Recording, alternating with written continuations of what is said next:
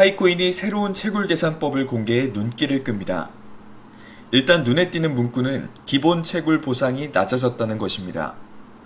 또 새로운 보상은 Pi Day에 알려질 것이라고 밝히고 있습니다. before and after를 살펴보면 바뀐 채굴 속도는 Pioneer 기준으로 반 이상이 줄었다고 할 수 있습니다. 이전에 비하면 계산 방식이 더욱 촘촘해졌다고 할 수 있습니다. 파이코인 측은 새로운 채굴 방식에 대해 상세히 설명을 해놓기도 했습니다.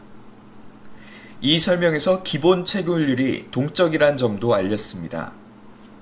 모든 투자는 각자의 판단으로 선택해서 하는 것으로 최종적 책임은 투자자에게 있다는 점을 알려드립니다.